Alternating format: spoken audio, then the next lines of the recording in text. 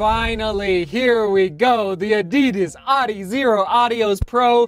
Adidas is officially in the marathon road racing shoe game. What do I mean by that? Well, probably you've noticed when you go when you watch on TV the Berlin Marathon, London Marathon, uh, New York City, Chicago, all the big marathons, all the East Africans from Ethiopia and Kenya specifically, they're either sponsored by Adidas or by Nike. Now, there are some exceptions to that rule, but Adidas and Nike have been dominating uh, the elite marathon racing scene for decades. Not for years, but for decades. So, I'm just, uh, I have not been waiting months for this shoe. I've been frankly waiting years, ever since, yes, the 4% came onto the scene a couple, uh, three years ago now, approximately. Yeah, I think about three years ago.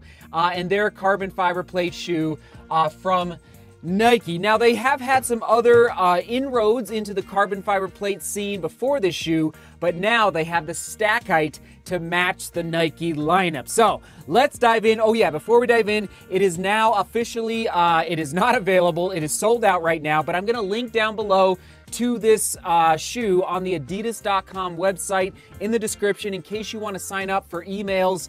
Um, and I, I know, you, hopefully, you, well, just read the fine print because I don't want you to get inundated by emails from Adidas, but they will notify you when this shoe becomes available again if you do want to sign up and give your email. Uh, also, down in the description are the chapters for this video. So if you want to jump to the weight of the shoe, uh, the price point of the shoe, uh, my thoughts on the lockdown, and yes, of course, the major, major sizing alert. It's listed down below in the description. So there you go. First of all, today's run, 15 miles, about 635 a mile. So what's happening? I'm tapering right now. Uh, so my long runs are turning into my middle distance runs. So that's why instead of doing what I would typically do, a 22 mile long run, I dropped it down to 15 miles. Uh, so that was that's what I did today in the Adidas Adizero Pro for my first impression run. This is not my full review. And let's dive in. 8 millimeter drop from heel to toe. What Adidas is calling 8.5 millimeters. I don't know. I'm just going to keep it simple, keep it at 8 millimeters. So 39 millimeter stack height in the heel,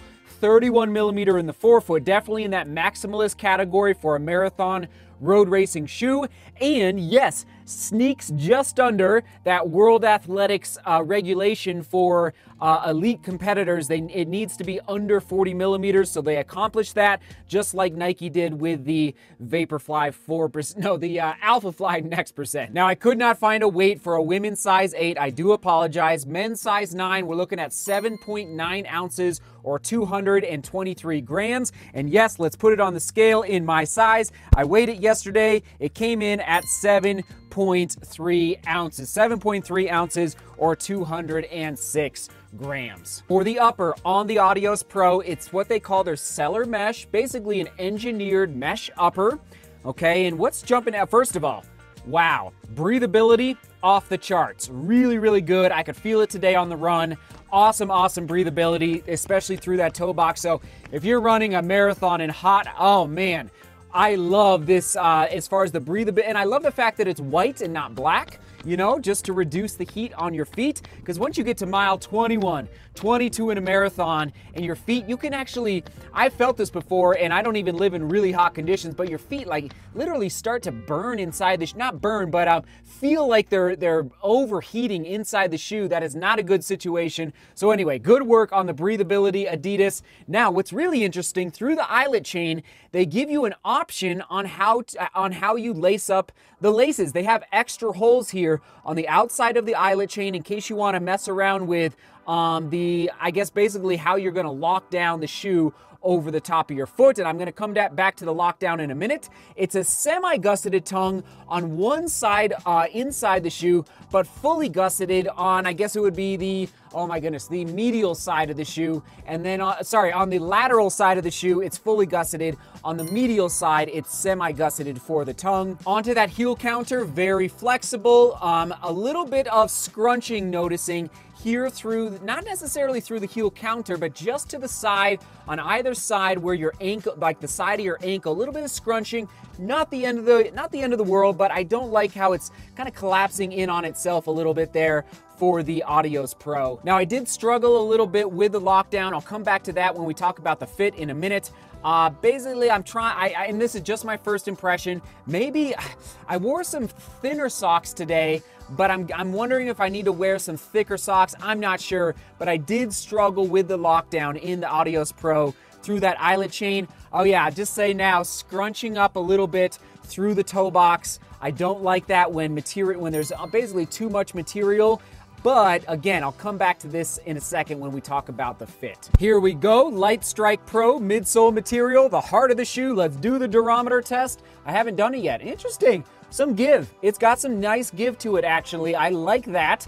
Uh, and I'll just say right now, I think this shoe needs a little break-in time. It felt a little stiff out there today. It surprised me. It, it just, it didn't, um, it felt like it needed to be broken in a little bit. And let's just, all right, let's do the twist test. It's twisting a little bit, but not too, too much.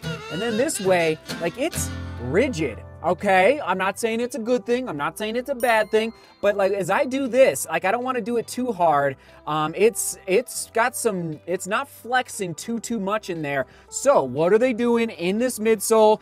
There are energy rods, carbon infused energy rods, five of them to mimic the metatarsal bones in your foot. So there's five rods. So there's okay. So let's start in the back. Uh, so this is a carbon fiber plate inside here, but it's not all, it's not running the uh, entire, uh, all the way through the midsole. So there's a, there's a carbon fiber plate under your heel to help with stability there through the heel. Uh, it does not connect though to the energy rods, what they call their energy rods, that basically spread out through under under this forefoot all the way up to uh, all the way up to your toes. So there's five rods in there different, totally different than what Nike's doing, uh, what uh, Saucony's doing, what um, uh, what is the other what what Skechers is doing. So and now I'm just kind of surprised at how frankly rigid these rods feel. It's a little shocking actually.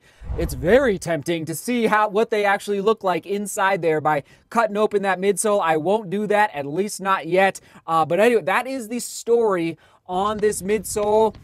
I got to keep testing. But right now, it's just, it is feeling a little, a little stiff through the foot strike. Onto the outsole, the bottom of the Adios Pro, you can probably see it there. What's, what, what's the one word jumping out at me?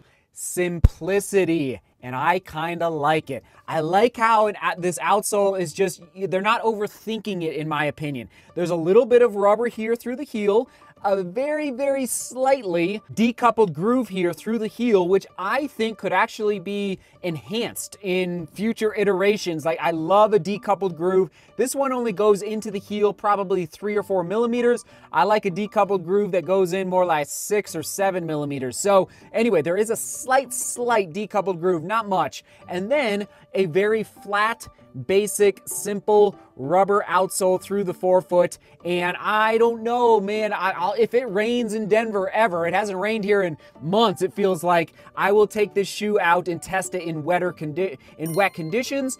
Uh, yeah, so anyway, it's a very simple outsole, and there is the score on my screen. On to the fit of the Adios Pro. Alert, alert, alert. Okay, now this is my foot. This is me. Okay, look at my thumb test on my toes. I went true to size and I regret it. Okay, rarely do I say this in the studio where I, I did not get the right sizing. I wish I would have gone a half size down, may Honestly, maybe even a full size down. For racing shoes, I prefer a snugger fit. And I am I was swimming through the toe box and I was on I was honestly slipping a little bit through the heel. Major issues. Now, I can't, you know, I don't know what to do at this point. I'm going to keep testing this size, but um, just beware. Make sure if you if you buy this shoe at some point that they have a really really good return policy. I wish I would have gone a half size possibly even a full size down, especially because when I'm doing uh, fast racing, marathon racing, I like to win- wear a thinner sock. So that would also impact how the shoe is going to fit under, uh, how the foot is going to fit inside the shoe. Oh man, not good, everybody. I, uh, yeah, what are you gonna do? Now, yeah, all I gotta say, make sure you have a good return policy. For the comfort, again, scrunching up through the upper, I don't love that. And again, that, that lockdown through the heel and the heel collar, didn't, uh, or the collar of the shoe, it just was not screaming comfortable. And again, the ride of the shoe, you know, just stiff, just stiff, but give me time. I'll get to, I do believe I'll get to 50 miles in this shoe sooner rather than later. Um, actually, I bet in the next two to three weeks. So I'm hoping this midsole just has a little more of a lively feel, uh, yeah, through the foot strike after 50 miles. My positive and drawback, as well as durability prediction, my positive is that Adidas is in the game. They're in the game, and this is going to impact Nike. This is going to impact all the shoe companies out there. New Balance is coming out with a shoe soon. Brooks is coming out with a shoe soon. So it's just so good to see a major running shoe company get into the game with respect to carbon fiber plates, high stack heights, and it's good for the overall competitiveness on the marketplace. Now, I'm not overly excited at this point about the shoe, but at least they're in the game, okay? And who knows, by Tokyo 2021, next summer, the Olympics, I suspect that this shoe is going to be enhanced quite a bit for the next iteration before the 2021 uh, Summer Olympics. So, all right, and then my drawback is yes, the fit of the shoe, the overall lockdown, just not not screaming at me. 300 plus miles for my durability prediction. That's actually pretty good uh, for a marathon racing shoe. I think um, I think there's good, there's going to be good resiliency through this midsole. Uh, and yeah, I went on some dirt today, and I'm not seeing any wear and tear on the outsole at all. How will I use this shoe? I would say threshold runs and long runs, okay? Now I'm still testing. I don't know yet if I would use this for, let's say, even a half marathon race or a marathon race. I, I just don't know yet. Stay tuned. And who is it best for? I'm not going to give you an answer yet. I just got to keep testing. Price point $200. There we go. That's way better than $275. Who question, not the question of the day, uh, but who was successful at buying an Alphafly Next Percent today? It was released again uh, in the United States through the Nike app. I was not successful. I tried, didn't get one. So anyway, let us know in the comments if you got a pair. That's $275 though versus $200. So there's my score for the price point thus far of the Adios Pro. All in all, final early score is on your screen. I think the shoe would have definitely broken through that seven threshold if I would have ordered a, a, a, half size or full size down. And that's why I do the testing for all of you so that you can know that knowledge before you go out and buy this shoe uh, that you might want to really consider half size or full size down. Uh, so not a, not a great first score, but Again, we'll keep testing. And that question of the day, I was going to ask a question about running shoes, but decided, you know what? As I continue to discern the DGR podcast, I'd like to hear from all of you. How do you listen to your podcast? What platform do you prefer? There are I don't know about thousands, but at least I continue to learn about different ways to listen to podcasts. It's kind of insane. So let us know in the comments. And if I see a trend, that's going to be interesting because I'm, you know, continuing to figure out okay, how can DeMoor Global Running successfully roll out a good podcast? So, and that's going to be down the road. I don't know exactly when, but down the road, I'm, I'm continuing to plot it for the future. There you go. First impressions of the Adidas Adizero Adios Pro. I'm, I'm excited. I'm excited. I know the score wasn't great, but I, am overall excited that they're they're in the game, and uh, this is just going to be good for the entire marathon racing shoe marketplace. I'll leave it there. I'll leave it there. All right, let's toss it to. We'll toss it to the Adidas running shoe playlist. Adidas running shoe playlist. And I do believe now that I have the Adios Pro in hand, I'm going to make an Adidas running shoe 2020 vlog very, very soon. Adidas running shoe playlist right there, right there, right there. Seek beauty, work hard, and love each other. See you tomorrow.